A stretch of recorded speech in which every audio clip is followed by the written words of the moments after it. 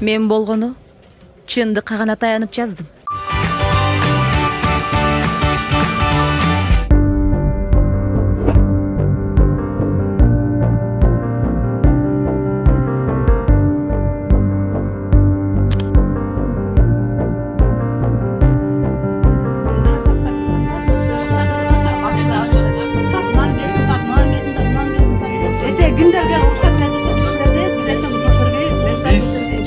числодон баштап иштегениме бөгөт коюп жатат менин иштегениме тоскоолдук кылып жатат деп мен барып арыз жаздым